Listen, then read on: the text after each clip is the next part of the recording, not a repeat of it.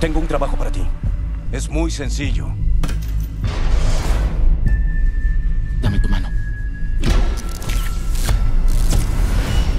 Como guardia de seguridad. Hola. Bienvenido a Freddy's. ¿Ya los conociste? Ah, ¿quién es? Foxy, Bonnie, Chica y Freddy. En los 80 desaparecieron niños. ¿Qué es esto? Por eso clausuraron el lugar. La policía los buscó en Freddy's. ¡Ey! Nunca los encontraron. Ay, qué.